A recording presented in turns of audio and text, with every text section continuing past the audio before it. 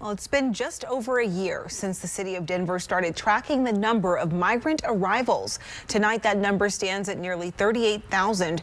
Many of those people coming here have little to nothing other than the clothes on their backs. And while Coloradans have been extremely generous with donating supplies, many of those donation centers are now completely full. Our Rob Harris shows us how they're working to process all of the donations and explains what you can still do to help.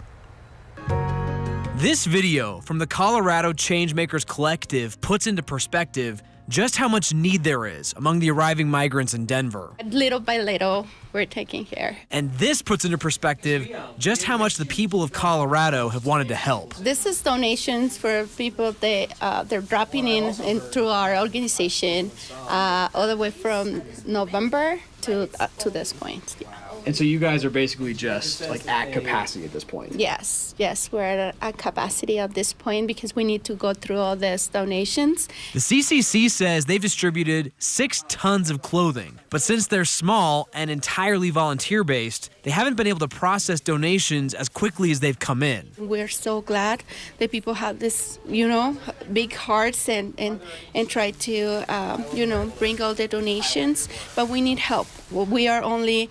Uh, for people and staff, and uh, with tons of donations, it's hard for us to to keep going.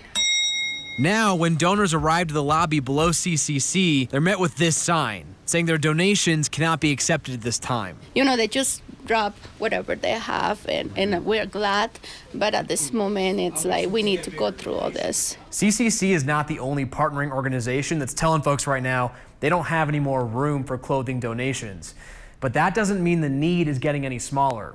Denver's still seeing hundreds of migrants arrive every day. So CCC will take monetary donations to try to buy a bigger storage space for clothes. And in the meantime, there are other organizations that still have room for the clothes if you have them to give. I mean, this is what Denver is. The Park Church in the Highlands is home to a group that is still taking donations. A growing army of moms and neighbors are mobilizing to get help to arriving migrants. Just, just volunteers, just donations. And so that's kind of cool. Elizabeth Nietzsche is one of the organizers. She says they are still able to take donations and get them to the migrants in need. But she also says receiving items that are not helpful bogs the process down. So they're asking for some very specific things. Please bring us winter jackets, winter pants, um, winter boots, gloves. We never have enough gloves to get through a day.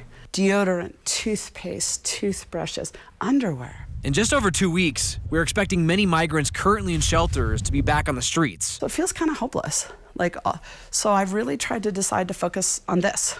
I can control this. And with even more arriving, Nietzsche says it puts the work she and her neighbors are doing into perspective. I can make sure that we have clothes. For Denver 7, I'm Rob Harris. The Park Hill Church drop-off site is open Tuesday through Thursday from 10 a.m. until 2.